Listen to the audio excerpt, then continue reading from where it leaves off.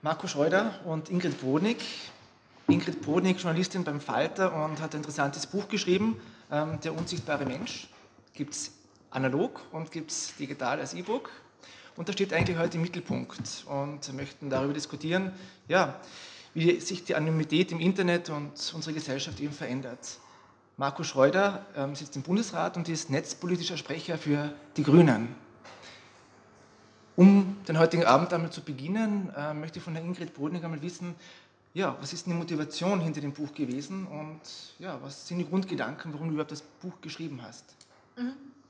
Ähm, ich habe jetzt, ich werde das oft gefragt, ich habe jetzt nicht so den einzündenden Moment, wo ich gedacht habe, das ist jetzt der Anlass, es war eher so, ich bin ja als Journalistin auch mit ähm, digitalen Themen, mit der Frage, wie das Internet unsere Gesellschaft verändert, ähm, häufig beschäftigt. Mhm. Und immer wieder kommt das Thema Anonymität auf und auch so diese Frage, ähm, wie wird online diskutiert, warum geht es online auch so rau zu. Mhm. Und dann habe ich, ich habe auch mal eine große Geschichte da, dazu gemacht, wo ich Internetforenposter, Anonyme getroffen habe und mich auch ein bisschen schon damals in die ganze Psychologie dahinter eingearbeitet habe. Und ich mir gedacht, das, da müsste ein Buch geben und es war so lustig, weil es gab wirklich kein Buch dazu. Und das war aber so ein naheliegendes Thema, fand ich irgendwie. Und so ist es gekommen, dass ich mir dann irgendwann gedacht habe, okay, dann schreibe halt ich das Buch. Ja. Und warum, was die Motivation ist, jetzt rückblickend betrachtet oder im Rahmen meiner Recherche ähm, bin ich dann mehr und mehr drauf gekommen, darum heißt das Buch auch Der unsichtbare Mensch, dass ähm, sehr häufig reden wir über die Anonymität im Internet als quasi Problemfaktor, mhm. als, als, als Erklärung, warum Menschen mitunter aggressiver oder unangenehmer zueinander wären. Und das ist ein Faktor, ich finde, das sollte man nicht ganz ausgrenzen. Aber was, was ich so im Rahmen der Recherche herausgefunden habe, ist, dass es andere Faktoren und einen ganz wesentlichen Zusatzfaktor gibt. Und das ist das Gefühl von, das nennt man tatsächlich Unsichtbarkeit, nämlich, dass ich im Internet mein Gegenüber nicht sehe und dass ganz wichtige nonverbale Signale wegfallen. Also, wenn ich dich jetzt hier beleidigen würde, würdest du du würdest mich schon mal gekränkt anschauen. Ich würde sofort merken, dass irgendwas falsch läuft, lief. Ich, selbst wenn ich gar nicht drüber nachdenke. Mhm. Und das bremst Menschen unheimlich mhm. ein. Und weil diese wichtigen Signale fehlen, führt das oft dazu, dass Menschen, auch wenn sie nicht mehr drüber nachdenken, schroffer werden. Mhm. Und ähm, das Buch versucht so ein bisschen eine Debatte anzustoßen oder zumindest so Erklärungsversuche zu liefern, die man vielleicht bei verschiedensten Fällen dann auch immer wieder berücksichtigen kann. Marco, du hast uns heute zu dieser Diskussionsrunde eingeladen. Was war denn deine Gemeinsam Grund mit der Grünen Bildungswerkstatt. Genau. ähm, was ist deine Überlegung dahinter, deine Motivation? Ähm, als, als Politiker ist es natürlich ähm, auffällig und, und, und wahrnehmbar, dass sich politische Kommunikation in einem ganz erheblichen Ausmaß ändert. Mhm. Ähm, während, und, und, man darf auch nicht vergessen, dass wir in der Politik ja auch unterschiedlichste Generationen mit unterschiedlichsten Herkünften sind. Mhm. Ähm, wir haben ja von Digital Natives bis ähm, immer auch noch Menschen, die sich ähm, die E-Mails von der Sekretärin ausdrucken lassen. So ist es normal. Ja. Ähm, dass diese Kommunikation sich sehr dramatisch geändert hat, indem man direkt Feedback bekommt, mhm. indem man ähm, auch mit Wähler und Wählerinnen ähm, in ein Direktgespräch eingeht Anders gesagt, Politiker und Politikerinnen reden jetzt nicht nur, mhm. sondern sie müssen jetzt auch in einer ganz anderen Art und Weise anfangen zu, zuzuhören. In einer, das, was man eigentlich nur in Wahlkämpfen bei Standeln auf der Straße gemacht hat, hast du jetzt täglich. Auf deinem Twitter-Account, in deinem Facebook-Profil oder wo auch immer. Äh, oder auf deinem Blog, wenn du einen hast. Und ich glaube, dass ähm, es in dieser Phase, wo wir jetzt stehen, wo das Internet auch jetzt steht, wo ähm, die großen demokratiepolitischen Veränderungen, die Hoffnungen auch in das Internet ähm, abgelöst wurden durch auch mehr Nüchternheit, mhm. was nicht unbedingt schlecht sein muss, glaube ich. Ähm, auch gepaart mit, dass es eben diese Shitstorms gibt, dass es ähm, ähm, dass, dass, dass, du von Hass überwältigt werden kannst. Ähm, ich glaube, dass wir in der, die Politik selber in der Kommunikation ganz tief ähm, und, und intensiv auch über sich selbst nachdenken muss, über seine eigene Kommunikation. Mhm. Ähm, was wahrscheinlich weiter zurückgeht als nur das Internet. Es geht stark auch um Boulevardisierung der öffentlichen Diskussion.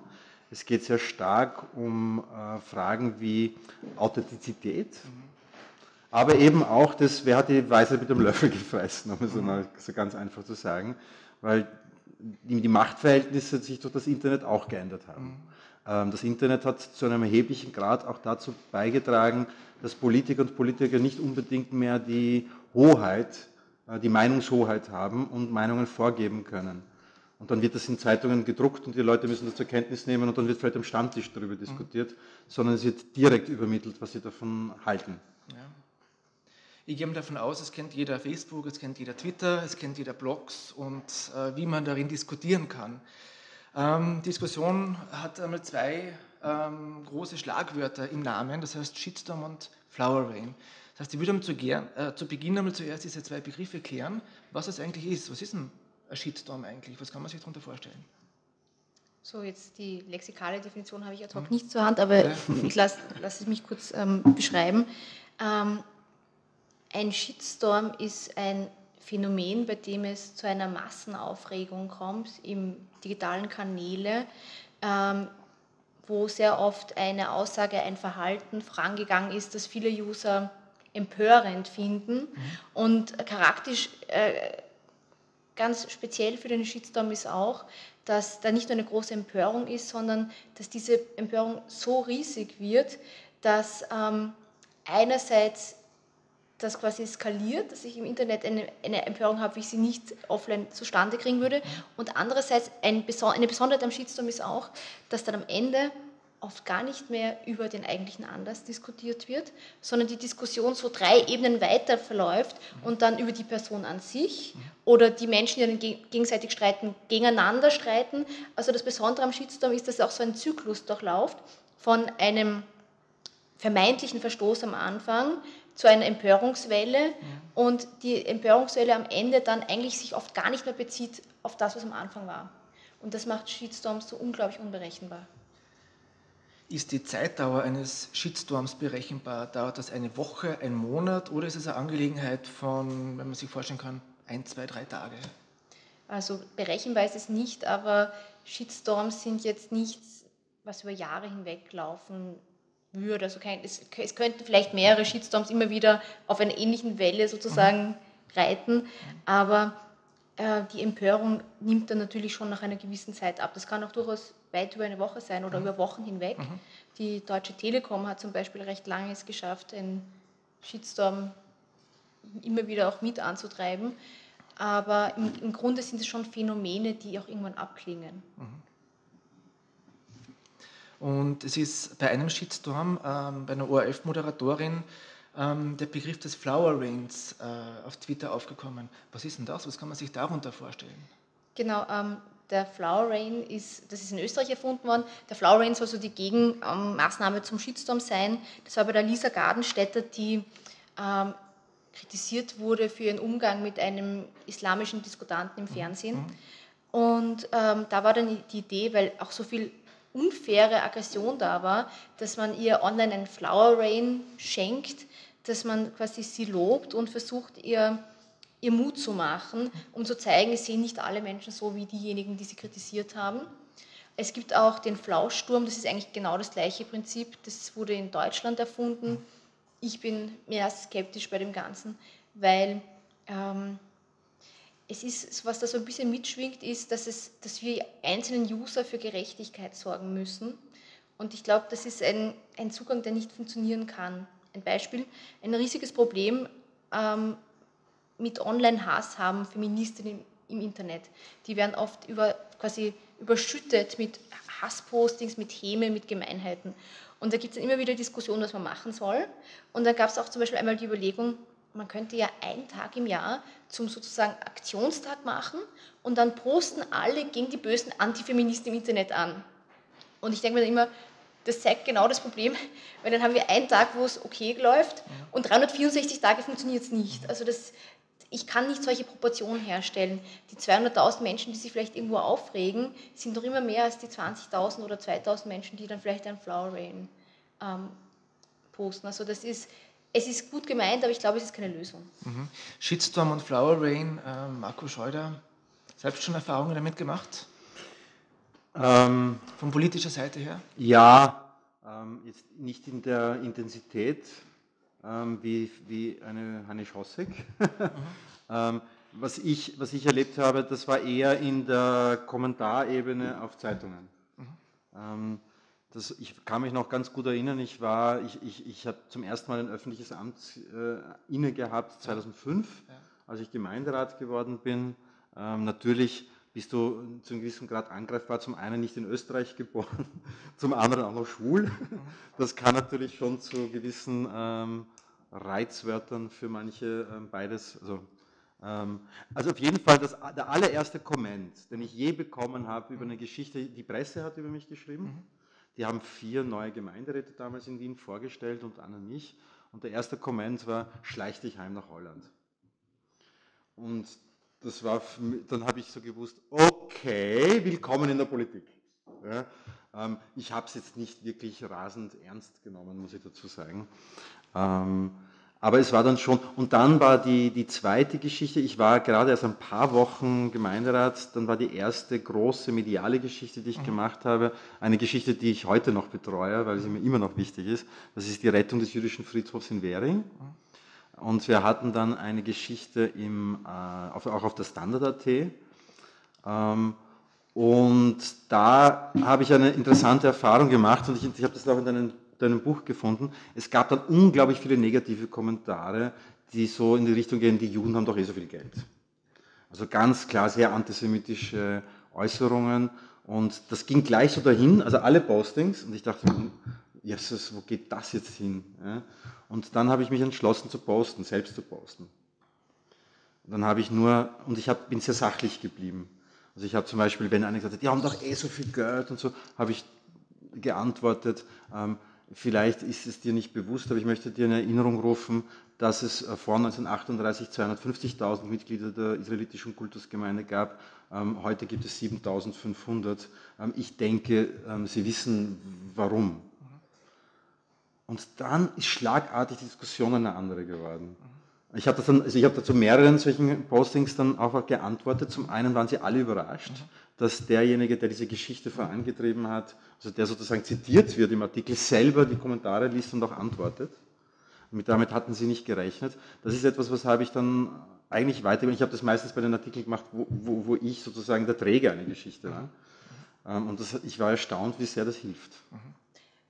Da möchte ich nur eine Sache, also da sind voll sehr viele spannende Aspekte drin. Ähm, was du beschreibst, ist ja eine gewisse aggressive Grundhaltung gegenüber allem Politischen. Ähm, vielleicht auch bei, bei dir besonders äh, wegen deiner Homosexualität und wegen deiner Herkunft, wobei ich nicht weiß, ob die Holländer die größte, ähm, meistgehasste Ethnizität sind. Nein, ich bin, ich bin kein holländischer Muslime, das wäre genau. vielleicht noch ein bisschen schlimm. Ich vermute, das wäre das wär höchst interessant. Aber ähm, was, was ich glaube ganz wichtig ist beim Thema Shitstorm, dass ähm, der Begriff Shitstorm viel zu schnell eingesetzt mhm. wird, weil nahezu nichts ist ein Shitstorm, was bereits als Shitstorm bezeichnet wird. Mhm.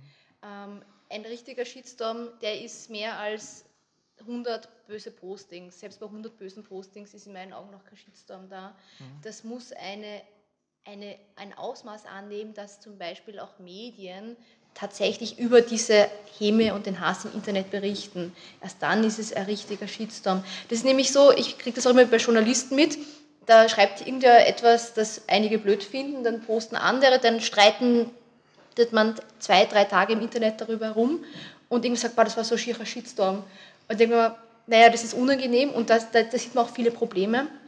Aber ein richtiger Shitstorm ist tatsächlich etwas, das dann wieder zum eigenen Thema werden kann. Es gibt so Shitböen. Genau. Das ist so das, der generelle Mief, der sich da auf verschiedensten Ebenen verbreitet. Ja. Es gibt ja so beim Shitstorm unterschiedliche Rollen und äh, im Buch ähm, wird ja die Rolle des äh, Trolls kurz beschrieben. Ähm, was ist denn das genau? Genau, auch der Troll ist auch wieder ein Begriff, der dauernd verwendet wird und meistens aber falsch oder zu breit. Also ein klassischer mhm. Troll ist jemand, der, ich sage immer, ein Hacker unserer Gefühle. Ein Troll will andere Menschen auf die Palme bringen. Er will negative Gefühle sehen, weil im Trolldenken bin ich klüger und emotionale haben, wenn ich jederzeit das Gefühl habe, dass ich dem anderen mit einem Posting quasi total aus der Fassung bringen kann. Das sind so Machtvorstellungen auch drin und auch generell Schadenfreude. Das macht den klassischen Troll aus. Der postet Dinge in erster Linie, weil er andere verletzen will und weil er das Gefühl haben will, er kann sie manipulieren auf eine negative Art und Weise. Das ist der klassische Troll, der zum Beispiel dann auch so Sachen macht wie, der schreibt ja nicht immer böse Dinge, der schreibt mitunter auch Dinge, äh, einfach nur dumme Fragen. Und dann antwortet wer anders und erklärt ihm das und der Troll findet das super lustig, dass er mit seinen dummen Fragen dann dazu führt, dass der andere das ihm erklärt und dann postet jemand drunter und sagt, du stellst so dumme Fragen und der nächste sagt, hey, lass ihn doch und auf einmal führt das zu einem unglaublichen Streit in der Community. Also er will negative Gefühle verbreiten. Mhm. Und ähm, das ist ein richtiger Troll. Was wir oft als Trolle bezeichnen, sind schwierige Persönlichkeiten mhm. oder Leute, die ein aggressives Diskussionsverhalten haben. Das ist im klassischen Sinne aber kein Troll an sich. Es ist eine Zeile im Buch, die mir ganz gut gefallen hat. Ähm, warum sind Störenfriede im Netz so erfolgreich? Und vor allem das so erfolgreich. Ja? Das ist so rausgestochen. Was ist Erfolg in diesem Zusammenhang? Erfolg ist, ja, das, ist, das ist sogar lustig, weil das ist so bei meiner eigenen Recherche so etwas gewesen, mhm. was mir erst mit der Zeit klar geworden mhm. ist, dass wir unglaublich beherrscht werden im gesamten, in der gesamten Online-Debatte von einigen wenigen, die eine unangenehme Art haben. Und unangenehm ist nicht das Problem, sondern eine, eine renitent ähm, untergriffige Art. Ähm, erfolgreich heißt folgendes. Ähm, ganz oft, wenn man auf ein Zeitungsform schaut oder auf eine öffentliche Debatte auf Facebook, bekommt es einen Trall, der unangenehm ist. Das heißt, oft schafft es eine Minderheit, ein Thema an sich zu reißen und alle anderen sitzen dann gemeinsam in diesem Mini-Forum und müssen sich mit all diesen negativen Dingen beschäftigen. Also so erfolgreich heißt das oft wenige, die aggressiv sind, das ganze Thema an sich heranreißen und wir irgendwie keine guten Rezepte bisher haben, wie man damit umgeht. Mhm. Und ich sage es noch einmal, das beste Beispiel in meinen Augen ist immer der Antifeminismus, mhm. weil das ist ähm, eigentlich eine Minderheit, die gezielt in Foren hineingeht und so untergriffig postet, dass die anderen das Gefühl haben, sie müssen dann genau darüber reden. Mhm. Und dann wird eigentlich nicht mehr über den Artikel oder den Anlass diskutiert, sondern mhm. eigentlich nur noch gegenseitig ähm, so herumgestritten. Mhm. Und das ist Erfolg. Damit ist die Debatte dann aus. Mhm. Ja, gerade die, den Antifeminismus, den glaube ich, den kann man sehr gut als Beispiel nehmen, weil ähm, das Wort Genderwahn, mhm. das ist für mich äh, einer der trolligsten Wörter sozusagen, die das Internet in den letzten Jahren erfunden hat, hat ja aber schon auch dazu geführt, dass politische Parteien das aufgenommen haben und damit Politik zu machen. Mhm. Das heißt, ähm, da ist eine, ein Online-Getrolle, so nenne ich das jetzt einfach mal, ähm, schon auch zu einer politischen Agenda geworden ähm, über das Internet hinaus. Also es gibt ja sogar Politikerinnen, die haben ein Buch geschrieben dann mit diesem Titel. Ja? Ähm, und, und, und da halte ich es schon für gefährlich, wenn ähm, solche extrem hasserfüllten, auch, auch wirklich Minderheitenpositionen ähm, so nach und nach sich breit machen und, und in, in der Mitte der Gesellschaft auch ankommen. Mhm. Also das, das, das, das, erfüllt mich dann schon mit Sorge. Das, genau, das ist, ähm, weil du gesagt hast, erfolgreich, mhm. das ist eigentlich das die wirkliche Gefahr ja. bei dem Ganzen. Das ist ein, ein, sehr gutes Beispiel, weil die wirkliche Gefahr ist ja nicht, dass ähm, dann einzelne Menschen beleidigt sind oder alle einen schlechten Abend haben und irgendwie krantig schlafen gehen. Die größere Gefahr ist, dass gesellschaftspolitische Themen komplett verhaut werden damit und so ein, ein, eine aggressive Grundstimmung gegenüber gewissen Anliegen eintritt. Und das ist jetzt nicht nur so ähm, Panikmache, da gibt es eine wunderbare Studie dazu, nämlich die Frage ist ja, wie wirkt sich das aus, wenn wir dauernd aggressive Postings zu wichtigen gesellschaftlichen Themen lesen? Und ähm, ein paar Forscher der University of Wisconsin haben versucht, das in einem kleinen Rahmen nachzutesten. Die haben sich das Thema Nanotechnologie, eigentlich ein ziemlich neutrales Thema angesehen, haben einen Blogartikel verfasst und haben, ähm, der möglichst neutral formuliert war. Also es ging um die Vor- und Nachteile von Nanotechnologie. Es sollte so formuliert sein, dass es fair ist und ausgewogen. Und unter diesem Blog-Eintrag wurden dann Kommentare veröffentlicht, wo die User miteinander darüber stritten, wie Nanotechnologie wirklich ist. Und die eine Hälfte der Probanden in diesem Experiment, die lasen ganz normal, also die lasen sachliche, aber schon ähm, diskutierfreudige Kommentare, also Kommentare, wo man sich nicht einer Meinung war, aber sich nicht beleidigt hat. Und die andere Hälfte las die exakt gleichen Kommentare, nur da waren dann Schimpfworte eingebaut. Es war wirklich der genau gleiche Satz, nur dann war nachher noch, und wer das nicht versteht, ist ein Idiot. Oder solche Sätze waren eingefügt. Aber inhaltlich war genau das gleiche dann. Und es waren über 1000 Menschen, die da befragt worden sind. Und die Forscher selbst nennen ihre Ergebnisse, bezeichnen sie als verstörend, mhm. weil die zwei Gruppen, die eigentlich die gleichen Argumente lasen, nur die einen lasen auch noch Beleidigungen, haben den Artikel nachher komplett anders interpretiert. Ähm, die eine Gruppe, die die Beleidigung las, war dem Thema Nanotechnologie nachher negativer gegenüber eingestellt. Mhm. Und das, das, führt dann auch zu Fragen und die Forscher sagen, sie können nicht sagen, was das für jedes einzelne Thema, das gesellschaftlich ausdiskutiert wird, im Internet bedeutet.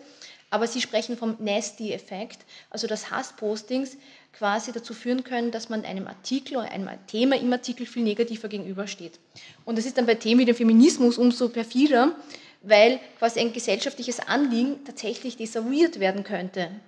Und das ist eben genau die Gefahr, dass man damit ein, quasi über solche vereinzelte Hasspostings quasi im gesamten politischen Mainstream etwas verändern kann. Wir erleben das jetzt auch gerade aktuell ähm, in den Foren, sage ich mal, ähm, bei jeder Geschichte zum islamischen Staat.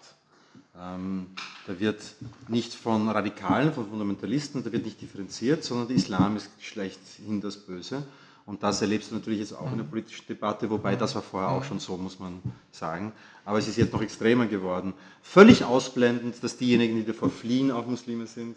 Völlig ignorierend, dass die Schiiten auch davor fliehen, dass die Kurden davor fliehen, dass die Jesiden davor fliehen. Ähm, es ist grundsätzlich, man hat das Böse definiert. Und das, und das ähm, macht sich dann schon breit. Und ich finde, da muss man ähm, auch in der politischen Diskussion auch darüber nachdenken. Und ich glaube, auch die Medien müssen dann darüber nachdenken, wie schafft man sozusagen ein differenzierteres Bild? Also wie, wie reagiert man auch darauf? Ja, weil das führt ja wohin, wo man, glaube ich, weder die Medienwelt noch die Politik noch irgendjemand eigentlich hin will. Ja? Außer Radikale. Mhm. Es führt auch dahin, was beim Nesti-Effekt eben, was ich nachgelesen habe, zu einer Polarisierung der Gesellschaft und zu einem Auseinanderdriften der Gesellschaft. Ja? Ähm, die Frage ist, wohin driftet es? Das ist lustig, ähm, um vielleicht auch das Wort Shitstorm mal wieder mhm. einzuwerfen. Ähm, einer der größten Shitstorms, den wir in Österreich erlebt haben, hat ja die Frauenministerin Gabriele Heinisch-Rossek betroffen, mhm. die es als Frauenministerin gewagt hat, zu verteidigen, dass in der Hymne auch Frauen erwähnt werden. Ich finde das schon einmal, ich finde das schon einmal inhaltlich total spannend, dass sie eigentlich dafür kritisiert wird, dass sie im Grunde ihren Job macht, irgendwo. Mhm. Ähm, aber darüber kann man streiten. Also die, über die Hymne können wir streiten. Sie hat diese Hymne verteidigt und wurde dann dafür von Tausenden mitunter extrem aggressiv ähm, angegangen äh, und hat quasi mit einem etwas ein bisschen kecken, ein bisschen ähm, pointierteren Posting und Foto auf einmal eine riesige Debatte losgetreten. Und ich habe dann nachher mir überlegt, was, was hat das eigentlich dann bewirkt politisch? Diejenigen, die finden, die alte Hymne war gut, Frauen sollen, brauchen da nicht erwähnt werden und generell ist die Politik da von aggressiven Feministinnen beherrscht, die werden die gleiche Meinung gehabt haben wie vorher. Und ich glaube aber auch, dass diejenigen, die quasi pro Feminismus, pro neue Hymne sind, exakt auch die gleiche Meinung haben wie vor. Was aber tatsächlich passiert ist, dass beide Lager radikalisiert werden oder noch weniger aufeinander zugehen können. Und in dem Fall, glaube ich, ist das jetzt kein großer Unterschied zu vorher. Da gibt es schon eine generelle Streitlust in diesem Bereich. Aber das ist schon problematisch, weil ähm, zum Beispiel manch ein Politiker so eine Polarisierung dann nicht haben will und sich gerade zu solchen Themen dann lieber nicht äußert, weil er nicht tagelang 8000 Postings lesen mhm. lassen will. Und man muss sich das so vorstellen, dass dann ähm, zwei, drei Mitarbeiterinnen aus dem Ministerium dann tausende Postings lesen durften und schauen durften, wo schwerste Gewaltandrohungen sind, weil das wird gerade noch gelöscht. Und da ist schon auch eine Gefahr für den politischen Diskurs da.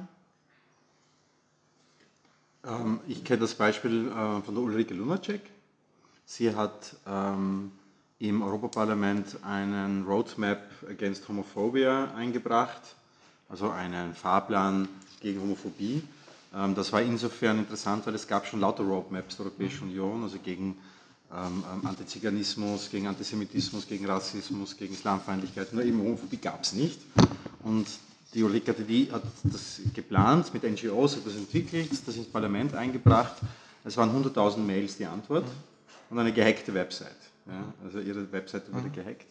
Ähm, und, und die 100.000 Mails. Und das Interessante war, was sie mir auch berichtet hat, dass das äh, manche, die das wirklich unterstützen wollten im Europaparlament, vor allem aus der konservativen Ecke, also wirklich irritiert hatte und sie sich auch plötzlich nicht mehr so sicher waren.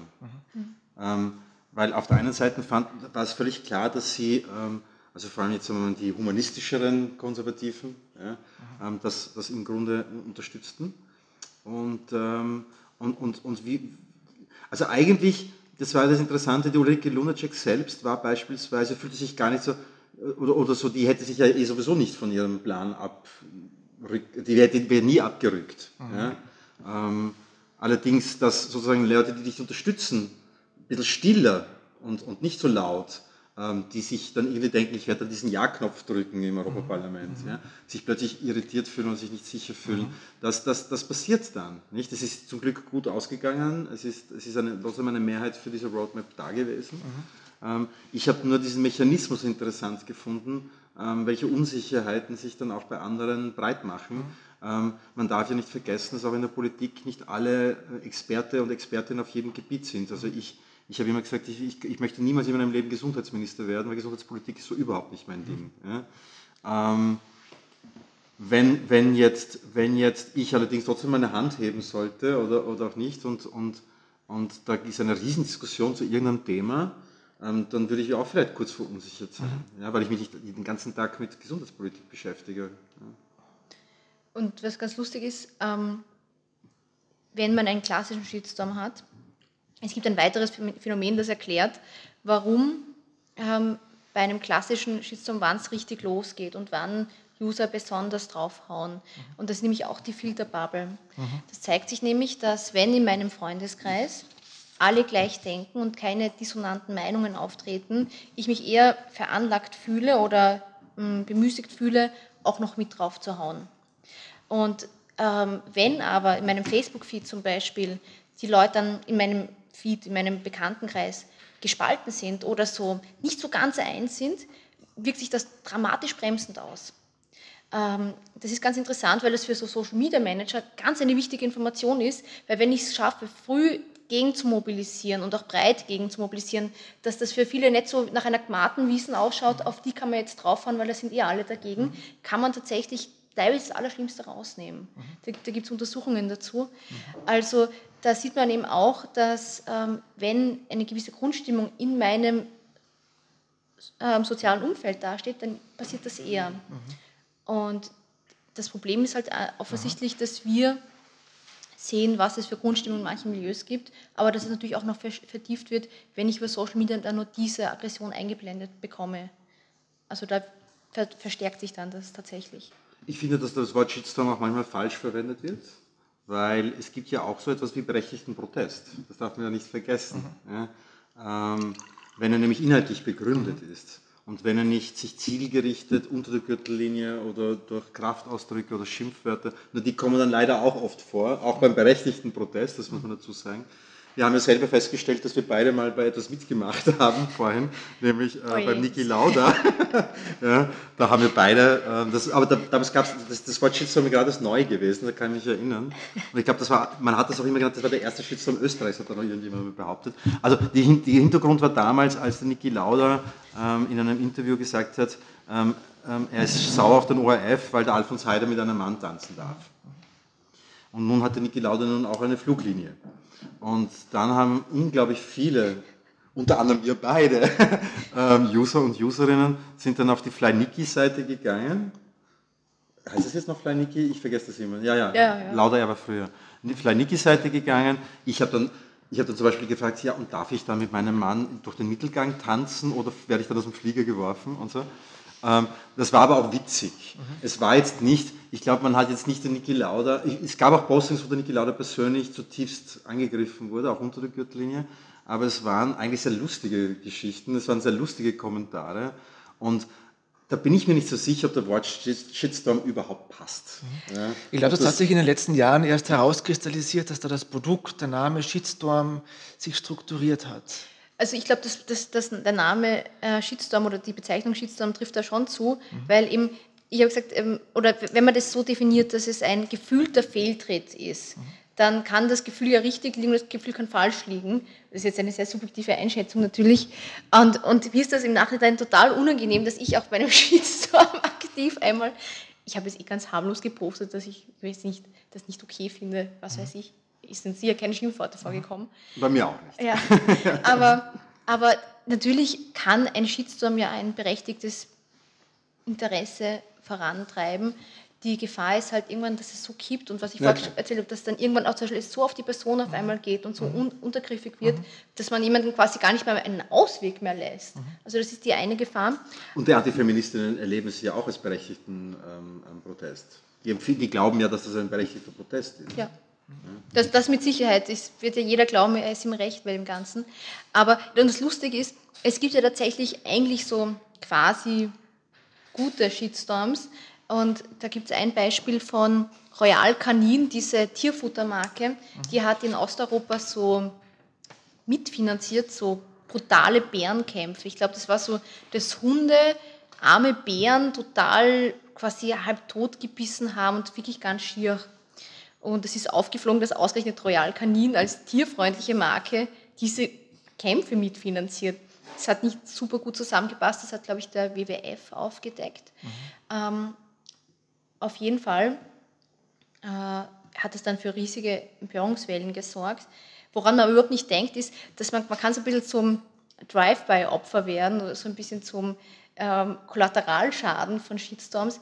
Ähm, ich wäre nie im Leben auf die Idee gekommen, dass auf einmal die, dieser Tierfutteranbieter oder Tierzubehöranbieter Fressnapf auf einmal auch mitten im Shitstorm drin war, weil die Leute waren so wütend und enttäuscht und sind dann alle zu Fressnapf oder viele zu, zu Fressnapf Facebook-Seite gegangen und haben geschrieben, ihr macht da auch mit, ich bin so enttäuscht, ihr seid da das Gleiche, euch sind die Tiere ja gar nicht äh, wichtig, mhm. ihr wollt ja nur Geld machen. Und die waren auf einmal mit, auch mit unzähligen Postings überschwemmt, die total aggressiv waren in ihre Richtung, ohne dass die irgendwas an diesen Bären kämpfen konnten. Und die haben es aber sehr klug gemacht, weil die sind dann darauf eingestiegen und gesagt, ja, wir haben das auch erfahren und sind total schockiert und wir werden uns jetzt erkundigen, was das heißt. Und das ist jetzt ziemlich wenig. Und dann haben die Leute weiter gepostet. Und dann haben sie immer gesagt, ja, wir haben jetzt versucht, jetzt Kontakt aufzunehmen, haben noch nichts gehört. Wir haben folgende Fragen und wir werden denen ein Ultimatum stellen. Und wenn sie dieses Ultimatum nicht erfüllen, dann wird Royal Canin aus dem Sortiment genommen. Und dann haben die das Ultimatum nicht erfüllt. Und ich glaube, die haben auch kurzfristig das aus dem Sortiment genommen. Auf jeden Fall haben sie reagiert. Und ähm, haben dann so quasi signalisiert, hey, wir sind auf eurer Seite, wir finden solche brutalen Tierkämpfe auch nicht gut. Und das, das Faszinierende daran ist, und dann haben sie aber immer gesagt, ja, und außerdem, wir haben auch eine gute Marke und da kann man dieses und jenes Tierfutter auch bei unserer eigenen Hausmarke ähm, und da gibt es keine Bärenkämpfe. Genau, da gibt es keine Bärenkämpfe. und die haben dann quasi Profit eigentlich daraus geschlagen aus diesem Shitstorm. Das geht natürlich nicht in jedem Fall, aber es zeigt, dass natürlich ein Shitstorm einerseits ein berechtigtes Interesse vertreten kann. Mhm. Dass Shitstorms, das ist auch ganz relevant, tatsächlich sehr oft ähm, geht es in Shitstorms auch um Vertrauensverlust. Mhm. Also dass etwas passiert, wo jemand sich ganz anders darstellt und dann, und dann erle äh, erlebt der User einen Vertrauensverlust und ist umso empörter. Wobei, eines möchte ich schon dazu sagen, ähm, ähm, das gab es schon noch in der Offline-Zeit früher. Mhm. Also das, das, das gab es auch ohne Internet. Mhm. Also ich kann mich erinnern. Da hast du dann gefaxt, oder? Nein, nein, ich weiß nicht. Also früher 80er Jahre, ich kann mich, USA, früher 80er Jahre, äh, Philip Morris Konzern. Philip Morris Konzern hat ähm, einen bei irgendwelchen Senatswahlen, glaube ich, ähm, einen, einen, einen, einen Kandidaten unterstützt, ultrakonservativ, ähm, Texaner. ähm, und damals war ja auch, kam AIDS auf, nicht? Und er hat AIDS als Strafe Gottes und man möge gar nicht da hinein investieren in die Forschung, weil, ähm, also wirklich so, also ganz schlimm. Und daraufhin, das ist wie ein Lauffeuer durch die Staaten gegangen, haben ähm, Gesundheitsorganisationen, LGBT-Organisationen ähm, und so weiter alle gesagt, so wir boykottieren jetzt Philip Morris. Und die Umsätze sind aber wirklich eingebrochen. Und, ähm, Und Philip Morris musste dann, hat dann Jahre später, also dann haben sie wirklich den CEO gewechselt mhm. und dann später haben sie mhm. unglaublich viel Geld in die AIDS-Forschung hineingesteckt. Mhm. Ja? Ähm, und dann gingen auch die Umsatzzahlen wieder hinauf. Mhm. Also das gab es auch offline, das muss man schon noch sagen. Und, und, es gab immer schon auch Wege. Natürlich haben da die Medien noch eine stärkere Rolle gespielt. Mhm. Ähm, und und ähm, Netzwerke, die natürlich auch physisch waren. Eben das Schwierige ist, es ist ja nicht jede Empörung falsch und es ist auch falsch, den empörten Bürger von vornherein als Bösewicht hm. darzustellen. Sehr oft haben ja Menschen gute Gründe, empört zu sein. Ein gutes Beispiel ist schon gefallen, Heine Schosek, ähm, die Bundeshymne. Und ein Thema, was mich fast wöchentlich jetzt immer äh, im, bei jedem Fußballspiel zum Beispiel äh, auf Twitter oder auf Facebook äh, trifft, das ist ähm, Gabalier. Ähm, und es ist vorhin auch schon gefallen, der Begriff, dass man sich, dass man da vielleicht, äh, dass das Shitstorm auch ein Business Case sein könnte. Das heißt, ähm, wie empfindest du das Spiel von Gabalier mit der Bundeshymne im Zusammenhang mit, mit dem Shitstorm? Gibt es da einen Zusammenhang, wo man sich auch wieder positionieren kann und auf dieser Shitstorm-Welle ähm, ja, profitieren kann davon?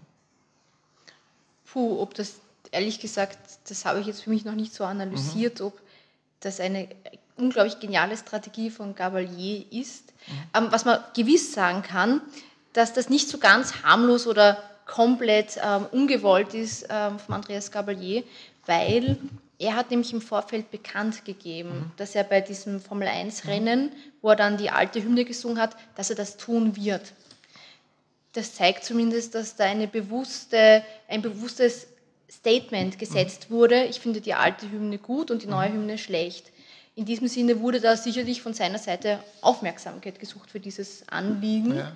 Ähm, dass es so extrem hochkochte, das hat er sicher nicht ähm, kalkulieren können. Das ist nämlich das Besondere. Mhm. Wenn zum Beispiel die grünen Frauen, glaube ich, haben das ja auch eigentlich so den Anstoß gegeben. Die haben dann einen Protestbrief gegen das geschrieben und dann. Ähm, die haben auch nicht damit gerechnet, dass das so eine Welle auslösen würde, glaube ich. Genau, und dann war die Ministerin, äh, die ehemalige Ministerin Rauch Kallert im Fernsehen mhm. und dann erst passierte Heinisch Fossek. Also das ist, das hat, das sind Richtig. so klassische Shitstorm, mhm. so Zyklen. Mhm. Ähm, das hat er sicher nicht planen können. Mhm. Und das aber das quasi seine Fans zusammenschweißt, das ist garantiert so, weil ähm, das zeigen auch, das gibt so soziologische Thesen und ähm, Erklärmuster, warum, wie sich zum Beispiel Neonazis ähm, zusammenfinden und was auch Antifeministen zusammenschweißt.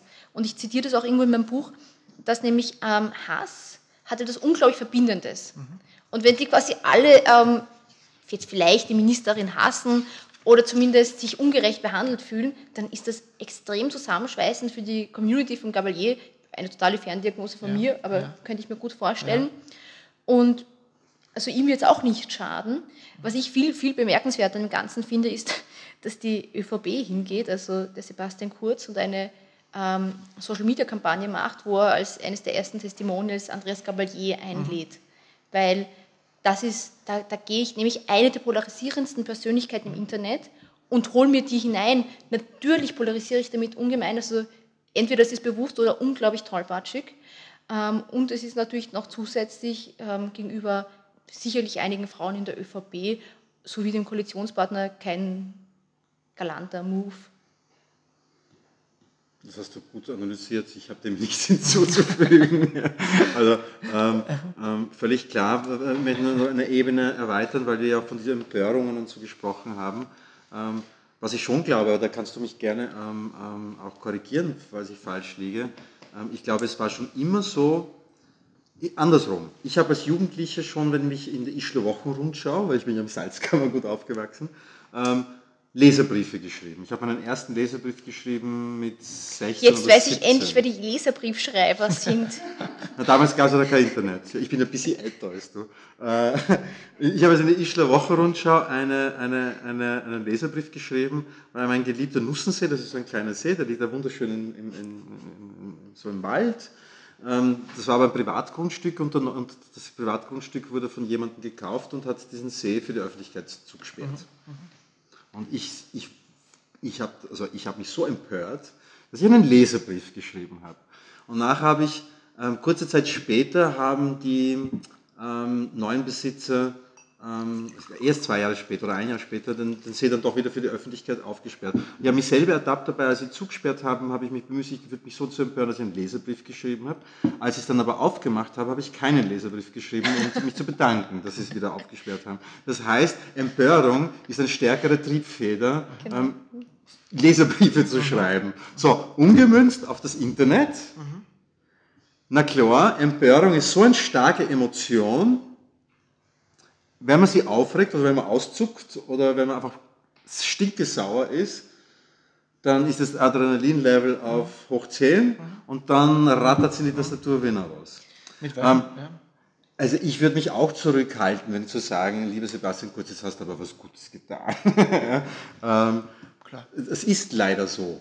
Also ähm, jetzt hat Facebook jetzt noch ein bisschen der Vorteil, man kann zumindest einen Gefällt mir Knopf. Also ich habe das auch schon erlebt am Posting, wo ich über 100 Likes hatte und nur Postings, ähm, wo alle mir sagten, was für ein scheiß Posting das sei. Also da sieht man ja auch, die, ja, also man ist, wenn man etwas schlecht findet, mehr dazu animiert, etwas zu tun. Also wenn man etwas gut findet. Ines? Äh, Ingrid, du wolltest was sagen vorher? Ähm, ja, ich wollte in der Tat etwas sagen. Ich überlege nur gerade, was das war. Die Geschichte mit dem See ist erstens wunderbar. Das See war das. Ein See. Genau. Ja. Nussensee. Ähm, ich mir fällt das sicher noch ein, aber ja, okay. ich jetzt so weg von der Geschichte. Ähm, ich wollte was sagen zum Thema Leserbrief. Ähm, wie hast du da unterschrieben? Mit deinem eigenen Namen, mit einem Pseudonym oder? Ich, ich habe, ich habe mit meinem eigenen Namen geschrieben. Mhm. Ähm, ich habe allerdings eine Zeit lang, und ich weiß gar nicht mehr warum, in der, in der queeren Community ähm, waren Pseudonyme immer schon sehr populär. Bei mhm. Drag Queens sowieso, das mhm. ist ja auch im Zusammenhang von Facebook jetzt eine interessante Diskussion mhm. gewesen bei der Klarnamenpflicht und so. Mhm. Ähm, und ich habe dann, ich war ja mal Chefredakteur von einem LGBT-Magazin, da mhm. hatte ich einen anderen Namen mir mhm. zugelegt. Und ähm, eigentlich eher aus einer kulturellen Tradition. Ich habe mir überhaupt nicht weiter darüber nachgedacht. Ähm, Im Nachhinein habe ich mir gedacht, wieso eigentlich? Ähm, die Tradition kam natürlich aus einer Zeit, ähm, in der, in, man darf nicht vergessen, Homosexualität war bis 1971 verboten in Österreich. Das heißt, man hatte, um, um andere nicht verraten zu können, also die Leute hießen Schlapfenbäder mhm. oder, oder die, die, die, die, die Kaiserin Sissi von Meidling mhm. oder die, solche Namen hatten die mhm. Leute. Ja. Und ähm, das war aber auch ein Schutzmechanismus. Mhm. Ähm, und deswegen ist, ich glaube, das ist auch ganz wichtig in dieser Anonymitätsdebatte, dieser Schutzmechanismus, ja. den auch ähm, Pseudonyme oder, mhm. oder auch Anonymität, was du ja in deinem Buch auch sehr gut ähm, ähm, darlegst, ähm, weil ich habe damals auch ein Pseudonym, im Nachhinein wäre es nicht notwendig mhm. gewesen. Nur ich war, ich kann die Gedanken aber schon, ich war, ich war jung mhm. und ich wusste ja noch nicht, wo mein Weg mich hinführt. Ja. Und ich wusste nicht, komme ich einmal irgendwie in eine Firma, wo das vielleicht nicht so gern gesehen ist, dass in meiner Biografie steht, Chefredakteur oder Redakteur eines lesbisch-schwulen Magazins. Mhm. Also habe ich mir gedacht, ich sichere mhm. mich mal ab mhm. und nenne mich anders. Mhm. Würde ich heute nicht mehr tun, aber damals habe ich das getan.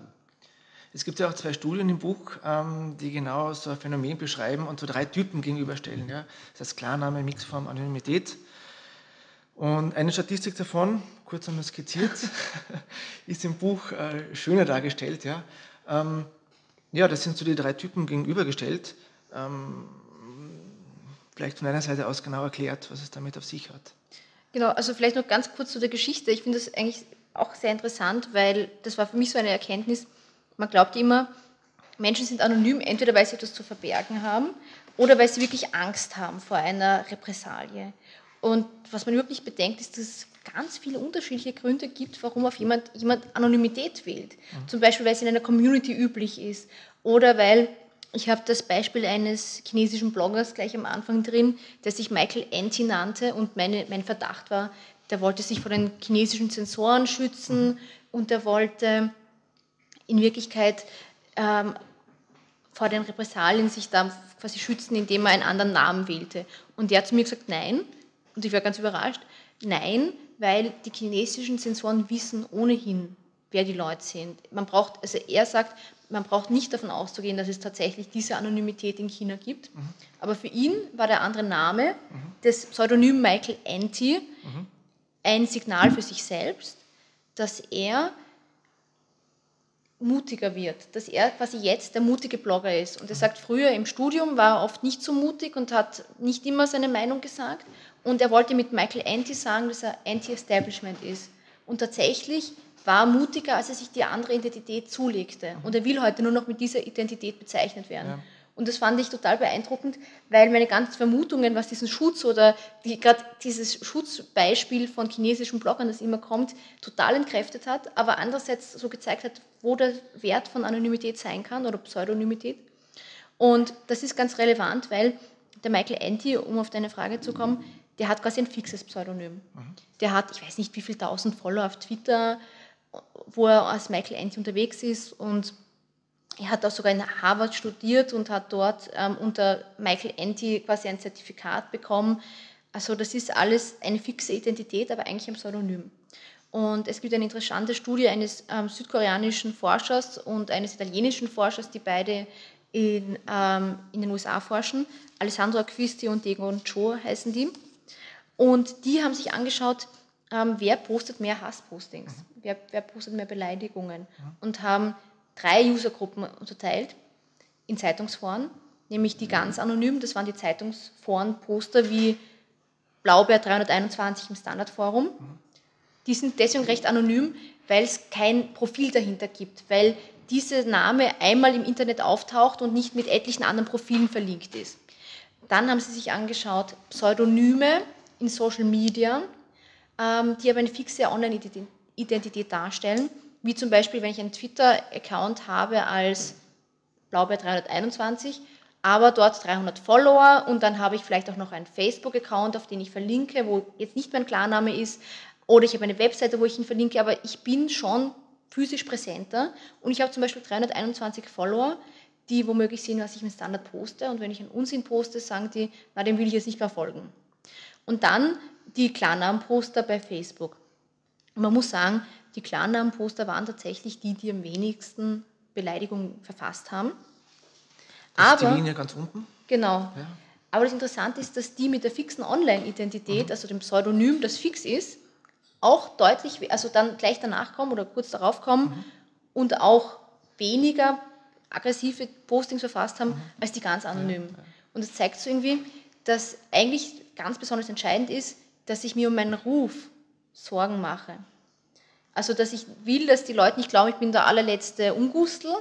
Das führt dann dazu, dass die Leute sich eher zurückhalten. Und das ist eigentlich ein schönes Signal, dass man sieht, man kann mit Pseudonymen auch einen angenehmen Ton herstellen. Was es auch schon früher offline gab. Unter Journalisten, da gab es ja. ja auch oft eine zweite Identität. Ähm, es, das gibt es das gibt's in der Kunst ja auch schon lange. Also wenn ich jetzt überlege an, an die Hardrock Kiss mit ihren Masken, die man nie privat, also das war einfach, wahrscheinlich hätten die privat, wären das einfach Hardrocker gewesen wie die anderen auch. Aber durch diese Maske waren sie was Besonderes und konnten auch etwas Besonderes tun. Äh, Drag Queens sind immer noch ein gutes Beispiel, finde ich. Ja. Ähm, oder jetzt war eh gerade der Crow mit seiner, mit seiner ähm, Panda-Bär-Maske. Also würde er das ohne machen, ähm, wäre er wahrscheinlich ein langweiliger Rapper wie viele tausende andere Rapper auch. Aber so ist er was Interessantes. Ja.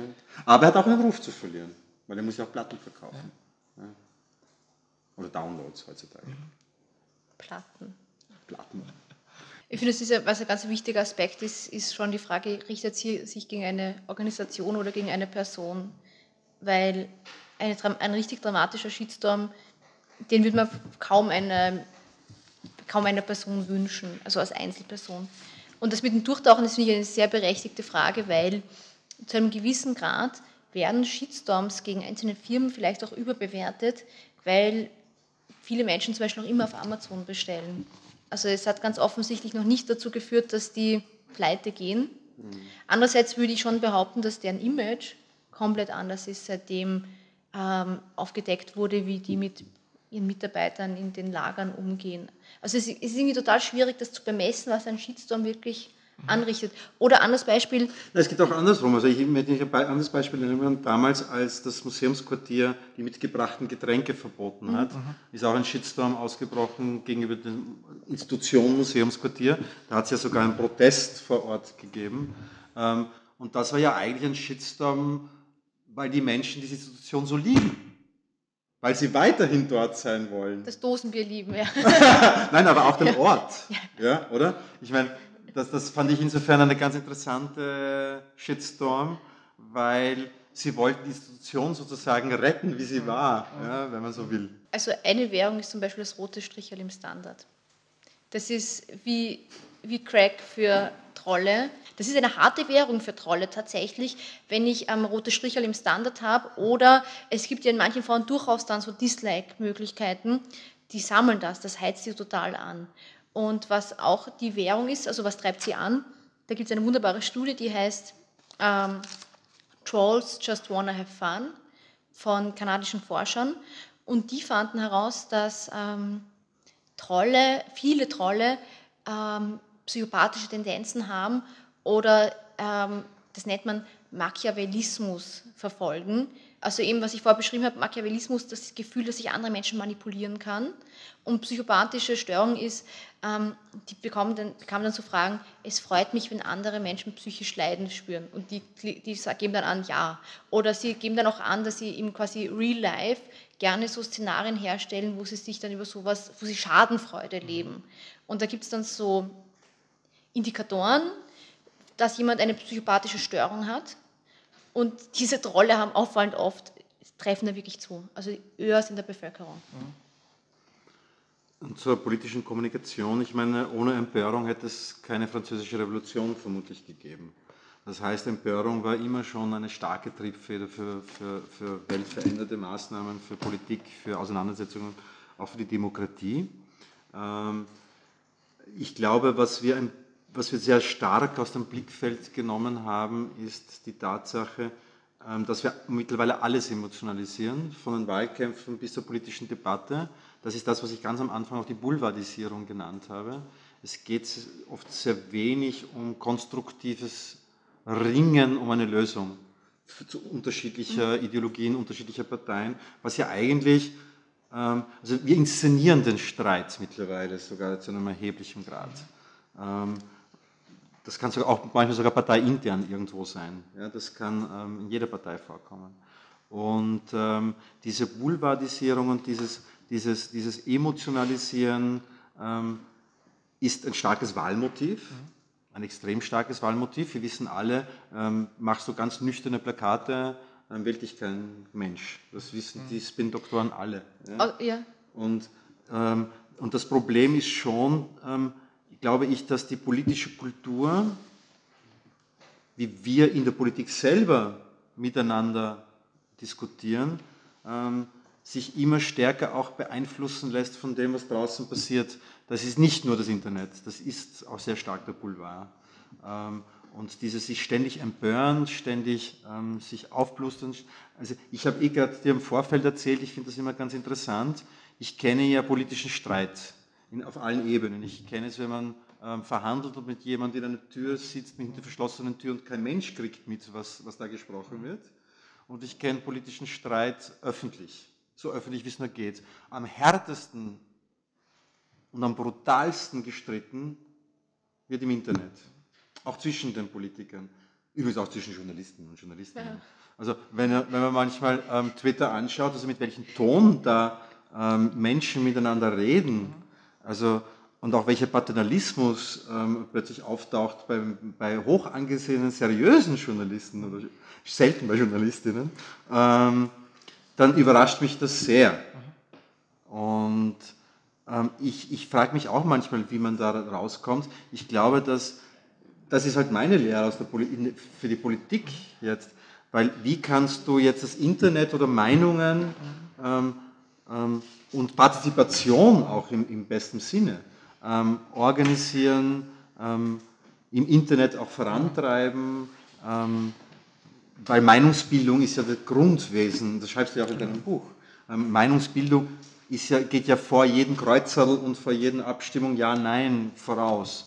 Und, und, ist einer der wesentlichsten Elemente. Und wie man da wieder sozusagen mehr Sachlichkeit, mehr, mehr, mehr, mehr, mehr auch konstruktive Kritik, konstruktive Auseinandersetzung ähm, erstellt, ähm, ist eine, eine berechtigte Frage. Ich glaube, dass die, also ich merke das in, in, in, meinem engsten Freundeskreis sogar, die übrigens bei Gott nicht alle grün wählen, ähm, dass sie langsam auch, sie, warum haben wir so viele Nichtwähler und Nichtwählerinnen? Mhm. Es kostet sie schon an, es interessiert sie. Es, sie wollen ja im Internet auch eine gewisse Form der Behaglichkeit. Mhm. Und immer dieses Gegeneinander und, und ständig, wie scheiße ist der andere, das ist unbehaglich, es ist, es ist, es ist unangenehm.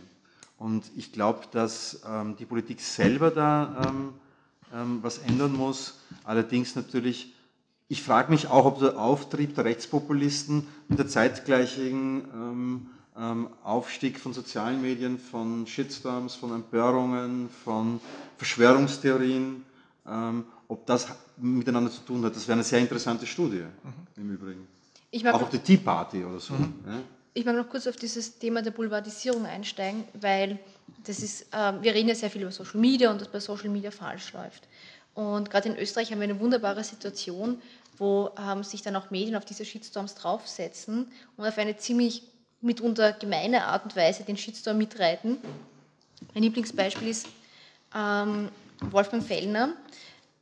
Als, diese, als die Geschichte mit der Elke Lichtnecker war, die Ö3-Moderatorin, die in einem nicht einmal ein richtiges Interview, sondern bei einem Besuch einer Behindertenwerkstatt einen missglückten Sager machte, eine depperte Geschichte erzählte, die nicht so ankam, wie sie sich das vorgestellt hatte und das dann quasi öffentlich wurde, aber eigentlich trotzdem ein ganz hamler Fall, ähm, die hat dann einen Shitstorm geerntet.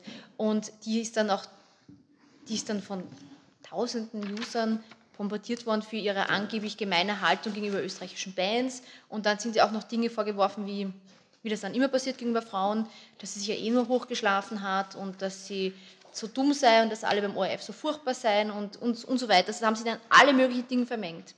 Und es war wirklich eine furchtbare Situation auf der Ö3-Seite und ihrer eigenen Fanseite, in ihrem E-Mail-Postfach, überall. Und was macht Österreich? Sie setzen drauf und berichten breit überall darüber tun nicht einmal Position beziehen oder so, aber sie setzen ordentlich drauf auf der. Webseite. Warum? Weil das Klicks generiert. Also da hat man schon, also das ist, das ist eine so, so eine gemeine Situation, dass ich dann als Online-Medium mhm. natürlich auch schaue, dass der Traffic dann zu mir kommt und ich damit eigentlich Kohle mache, weil es meine Werbegelder mhm. mitfördert. Und das ist dann halt total verlogen, weil dann wird dann, in meinen Augen, weil dann wird dann so Mitleid zum Teil suggeriert, ohne da wirklich klar Position zu ziehen ohne auch vielleicht versuchen, deeskalierend einzuschreiten. Und was passiert ist, dass die Leute auf der eigenen Seite da ordentlich dann wieder mitposten und dass dann erst recht auch dort so ein Klima entsteht. Ich glaube nicht, dass alle Medien das deswegen machen, aber ich glaube, gerade im Boulevard ist das oft so, dass die sich besonders früh auf solche Sachen draufsetzen oder ähm, das Video der betrunkenen Lokalpolitikerin neulich, dass die meisten von uns nie gesehen hätten, mhm. wenn das nicht in Wirklichkeit über das Boulevard mhm. groß gespielt worden wäre. Also sehr oft wird Social Media irgendwas vorgeworfen, was sehr wohl vom Boulevard stark mitbetrieben wird. Und warum? Einerseits, weil es ihm die Klicks bringt und andererseits, ähnlich wie bei Wahlkämpfen, warum gehen immer alle Wahlen im Vorfeld so knapp aus und im Nachhinein kommt man drauf, die waren überhaupt nicht so nah beisammen, offensichtlich gibt es eine riesige, also hätte man schon vorsehen müssen, dass eine Partei weit vorne liegt, weil Zeitungen damit ähm, Exemplare verkaufen, dass ein angeblich knappes Rennen dahergeschrieben wird. Und die Parteien übrigens auch, weil die beauftragen meistens die Meinungsforschungsinstitute. Genau. Da geht es auch um Mobilisierung. Genau, und das ist halt der Wahnsinn an dem Ganzen, dass mhm. da alle versuchen, so eine polarisierende, e, enge Situation zu schaffen, obwohl mhm. die, wenn man es nüchtern betrachten würde, so offensichtlich nicht bestanden Na, bloß Strache freuen sich schon auf das Duell, weil damit können sie die Kleinen einfach fertig machen, ist ja logisch. Ja. Ähm, ich habe noch bei der politischen Kommunikation ja. eine Sache vergessen, ähm, was es schon für, für, die Politiker und Politikerinnen als, als Personen, als Menschen, sage ich jetzt auch ganz bewusst, bedeutet, ist die Authentizität, die musst du ganz anders ähm, online erzählen. Ähm, das haben noch nicht alle begriffen, das haben eigentlich die wenigsten begriffen, muss man dazu sagen.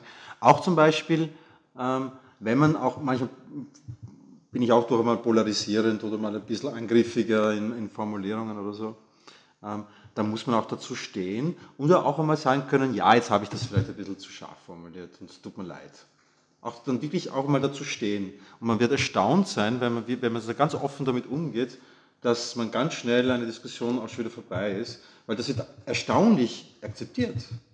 Wenn man sagt, na, da habe ich jetzt einen Fehler gemacht oder da habe ich jetzt übertrieben formuliert. Da möchte ich einen Gedanken dazu werfen und dann, ich weiß, wir haben eine Wortmeldung, ja. aber ich möchte ihn kurz anführen, Sorry. weil das ist ja, das stimmt im Grunde, hast du absolut recht.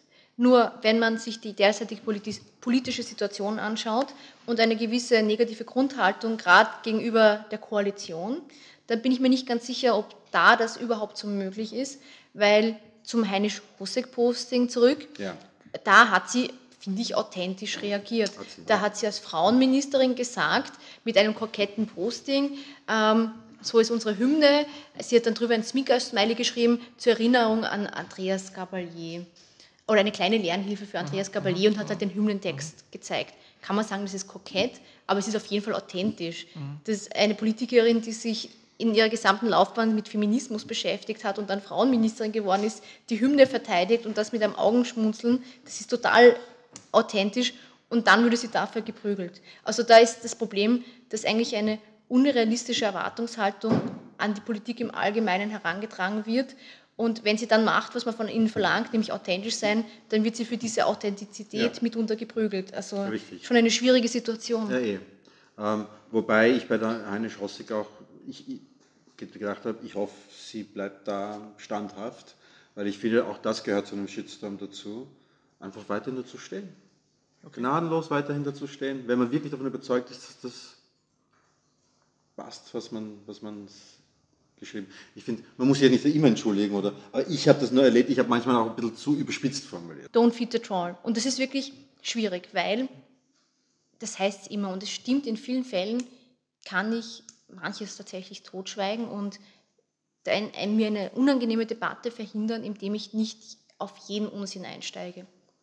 Aber manche Trolle sind emotional so untergriffig, dass es verlogen wäre oder gemein ist, von der Person zu verlangen, dass sie darauf nicht reagiert.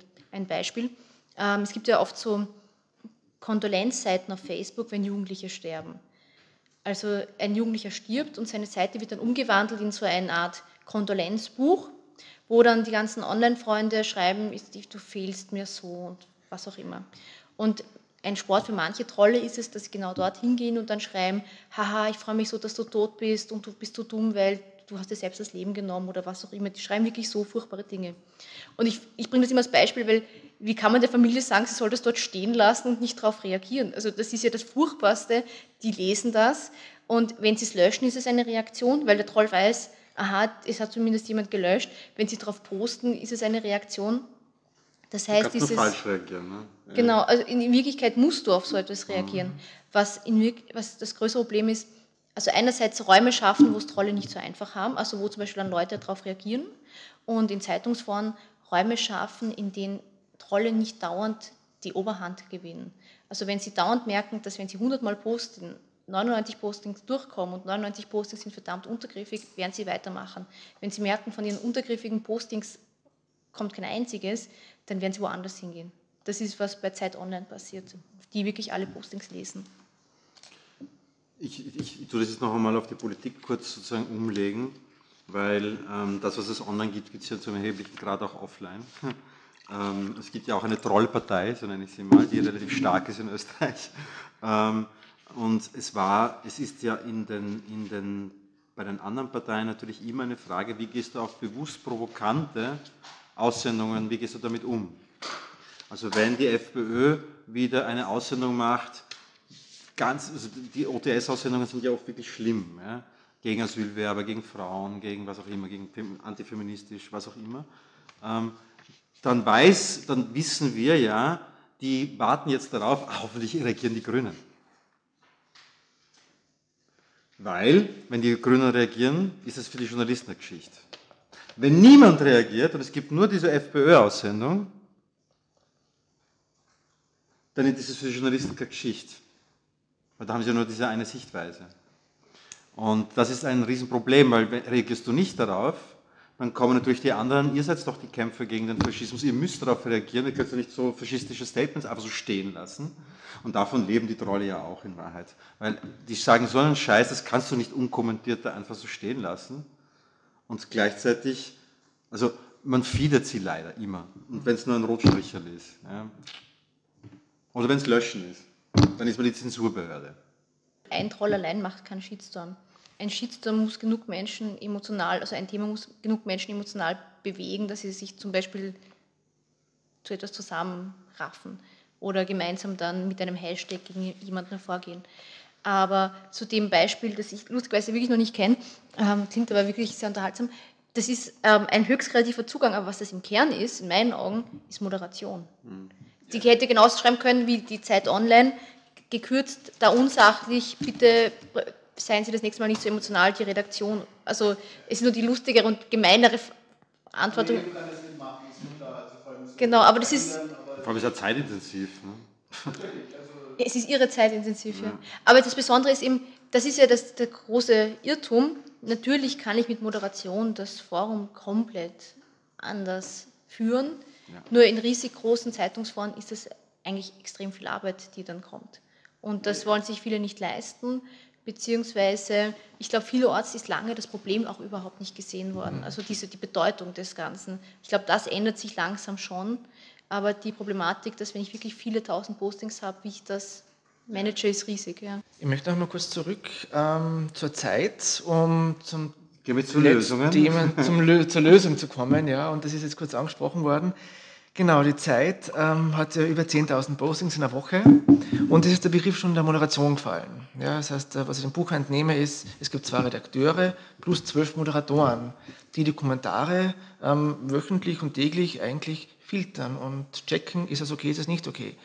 Ähm, und die Zeit Online macht das auch sehr transparent, was gelöscht wird. Das heißt, das wäre ein Lösungsansatz ähm, im Bereich des Journalismus. Genau, also die Zeit Online ist da im deutschsprachigen Raum wirklich ein Vorreiter. Das machen übrigens auch andere Medien, aber eher in anderen Ländern dann. Also zum Beispiel in den USA hat auch die New York Times ein, ein sehr gutes Community mhm. Management. Mhm. Und die gehen einfach so darüber, dazu über, oder die, die handhaben das so, da kann man gar nicht unter jedem Artikel posten. Mhm. Ähm, da muss das extra freigeschaltet werden vom Community-Team. Mhm. Und die schalten es nur dann frei, wenn sie sagen, sie haben gerade die Ressourcen und genug Mitarbeiter zur Verfügung, damit das zeitnah gelesen werden kann. Und ich finde, das ist ein total spannender Zugang, wenn man schon darüber nachdenken kann, ob die Logik stimmt, dass ich, wenn ich gerade Hausnummer 100 neue Texte auf meiner Webseite habe, ob ich wirklich bei allen die Ressourcen haben kann, dass ich da alles lese. Oder ob ich nicht versuche, die wichtigsten Themen Ähnlich macht sie Süddeutsche nur auf viel reduzierterem Bereich. Da sind es nur drei Themen des Tages, wo stark moderiert wird. Aber ich finde, im, im, Notfall finde ich so eine Lösung ehrlicher, als ich lasse alles offen und kann dann aber nicht mehr garantieren, dass, dass ich halt wirklich ärgste Dinge nicht rechtzeitig erkenne. Und andere Lösungen sind auch, ähm, abseits der menschlichen Komponente oder der Mitarbeiterkomponente ist, dass ich versuchen kann, in manchen Bereichen, dass die Community den, die Arbeit selbst übernimmt. Mhm. Ich habe ja vorher darüber geredet, dass fixe Online-Identitäten ein super Weg sind, um einen Teil der Aggression rauszunehmen. Und eine Seite, die das extrem gut macht, ist Stack Overflow. Die kennen nur Programmierer meistens. Das ist so eine Hilfeseite. Ich poste, dass ich beim Programmieren auf ein Problem gestoßen bin und finde nicht die Lösung und sage, woran scheitert es? Und dann schreibt jemand, weil du in der Zeile so und so, das musst du so und so machen. Und also mehrere Leute posten. Und wenn ich eine gute Frage stelle, kriege ich Punkte dafür. Und wenn ich eine gute Antwort liefere, kriege ich auch Punkte. Und das ist total ähm, ein spielerisches Prinzip, wo ich, je mehr ich quasi beitrage zur Community, desto mehr Punkte sammle ich. Und je mehr Punkte ich habe, desto mehr Rechte habe ich im Forum. Also ich darf dann später auch so Sachen wie, ähm, ich darf einen Beitrag, der im falschen Unterbereich geschrieben worden ist, ähm, verschieben. Ich, ich darf dann auch später in fremde Postings also mitmoderieren. Total beeindruckend. Mhm. Und weil die so eine engagierte Community haben, funktioniert das irre gut. Mhm. Und die haben auch so sogenannte Badges. Das sehe ich mit einem Blick, wie viele Punkte der User hat mhm. ähm, und ungefähr wie lange er dabei ist. Und ich habe also mit einem Blick so dessen Online-Identität erfasst und die wichtigsten Kennzeichen. Und jemand, der dann, weiß was weiß ich, 30.000 Punkte hat, der wird nicht hingehen und sagen, hey, das ist ja die dümmste Frage, die, du jemals, die ich jemals gelesen habe, bitte geh woanders hin, weil der weiß, dann kriegt das, verliert er sofort Punkte. Und das ist ähm, ein, ein, ein, ein Tool, damit die Menschen sich verantwortlich fühlen für ihre Online-Identität. Das funktioniert allerdings eher nur bei hochspezialisierten Foren, weil beim Tageszeitungsforum habe ich nicht die gleich engagierte Community. Das ist halt der wesentliche Unterschied, den man immer nennen muss. Dankeschön. Nur ein kleiner Hinweis, also ich habe ja auf meinem Blog früher jeden kommentieren lassen, auch anonym. Ähm, das heißt, ich hatte natürlich dann plötzlich auch, das war mühsamer, weil ich musste teilweise Dinge löschen, die schon online waren. Also das ging von Todesdrohungen oder Wünschen, wie ich doch bitte zu sterben hätte und, und, und, und schon ziemlich schlimm. Ich habe es aber manchmal stehen lassen und mir gedacht, ähm, damals war ja noch so ein bisschen die Phase, lassen wir es ruhig stehen und zeigen wir, was es so alles gibt äh, in der Gesellschaft, weil es wie ein Mahnmal sozusagen. Ja. Ähm, ich bin jetzt schon noch damit darauf umgestiegen, dass ich ähm, ähm, jedes Kommentar auf meinem Blog erst freischalte. Und wenn jemand schon mal freigeschalten war, weil ich weiß, der konstruktiv, der wird automatisch freigeschalten. Also dann tue ich da nicht mehr eingreifen. Ähm, einfach um die Idioten loszuwerden. Ähm, bei den Lösungen möchte ich allerdings schon auch noch über Politik, Recht und Gerichte auch noch reden, weil ich glaube, das ist ein ganz wesentlicher Faktor. Oder soll ich gleich? gleich. Weil es kommt ja auch in deinem Buch vor. Aber sagst du es?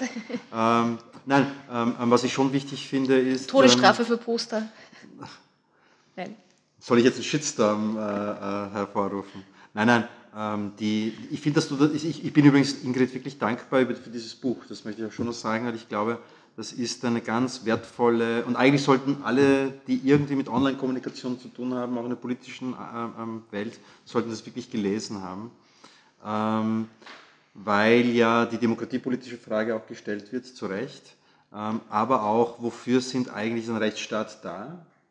Und das ist einer der wesentlichsten Punkte, weil ja die Trolle, ich nenne sie jetzt einfach mal so, und es sind ja nicht nur die Trolle, ähm, jetzt einmal davon ausgehen, dass die Meinungsfreiheit über allem steht. Also dass die Meinungsfreiheit das absolut wichtigste Gut ist vor allem anderen. Und wie du richtigerweise auch schreibst in dem Buch, und das ist ja auch, weil ich komme ja aus der Antidiskriminierungsecke, also das kommt aus, aus meinem Herzen, ähm, gibt es allerdings ähm, Interessen, die dem gegenüberstehen nämlich wenn es um Verhetzung geht, wenn es um Mobbing geht, wenn es um Stalking geht, wenn es ähm, um dergleichen. Und die Politik ist am schlussendlich dafür da, ähm, die Gesetze zu, zu schaffen, ähm, die, die, die sagen, wo werden Personen geschützt und was, ist, was muss eine Gesellschaft auch demokratisch aushalten. Auch das gehört dazu. Ähm, und auf der anderen Seite, ähm, ja, und natürlich dann natürlich die Justiz selber, die natürlich sich Einzelfälle anschauen muss mit dem Rüstzeug, das wir als Politik ihnen mhm. sozusagen von der Legislative in die Judikative übergeben. Ähm, und, und ich finde ja auch die Beispiele Süd also Südkorea und, und auch Staaten wie China, wo es so einen Individualschutz in dem Sinne keine Kultur hat oder keine politische Kultur hat, äh, im Gegensatz zu Europa, wo dieses Schutz des Individuums ähm, ähm, immer eine stärkere Rolle gespielt hat. Ähm, ganz wesentlich. Wir diskutieren jetzt gerade neu den Verhetzungsparagraphen. Der steht jetzt gerade wieder zur Diskussion. Und der Verhetzungsparagraph ist natürlich so ganz ein klassisches Beispiel davon, ähm, wie man dann auch als Gesetzgeber oder Gesetzgeberin ähm, einfach Dinge auch verbieten kann. Ganz bewusst verbieten kann. Man darf nicht vergessen, vor zehn Jahren hat es noch nicht einmal ein Anti-Stalking-Gesetz gegeben in Österreich. Das ist erst eingeführt worden. Das war erlaubt. Mhm. Ja von rechten Sicherheitspolitikern wird immer gesagt, das Internet darf kein rechtsfreier Raum sein und das Internet ist absolut kein rechtsfreier Raum. Ja. Ähm, in der Tat ist eher das Problem, dass es an quasi ausjudizierten Fällen fehlt, wo wirklich so Benchmarks gesetzt werden im Rechtsstaat. Und andererseits eben, das glaube ich auch tatsächlich, dass, dass die Awareness in Justiz und Polizei, was Online-Attacken betrifft, noch ausgebaut werden muss. Ja. Es gibt das, das wissen wir aber eh, das, es gibt ja ähm, im Regierungsübereinkommen wird Cybermobbing, Cyberkriminalität, Cyber, Cyber, Cyber ungefähr 100 Mal erwähnt. Also es ist ein Riesenkapitel. Ähm, die, die Mikkel Leitner betont das ja auch in jeder Rede, wie wichtig das ist. Ich habe sie schon noch irgendwann mal gefragt, ähm, was denn jetzt der Unterschied sei zwischen Cybermobbing und Mobbing. Weil Mobbing ist Mobbing. Ja? Ähm, im Internet hat natürlich die dramatische Auswirkung, dass viel mehr das noch mitkriegen. Das, das stimmt schon. Ja.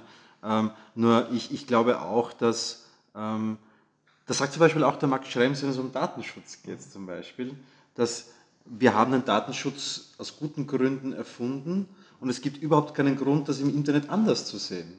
Es gibt keinen Grund, das Briefgeheimnis nicht aufrechtzuerhalten. Es gibt keinen Grund. Es gibt keinen Grund, ähm, ähm, Mobbing anders zu sehen, weil es im Internet passiert. Es ist eine Straftat. Punkt. Und es ist auch völlig wurscht, ob das ähm, am, am, Schulhof passiert oder auf Facebook. Es ist eine, eine strafbare Handlung. Gut. Ich sage danke für die Diskussion. Danke Ingrid Brodnik. Danke Marco. Und ähm, für etwaige Fragen und kurzen Diskurs stehen wir nachher noch zur Verfügung. Aber ja. Dankeschön.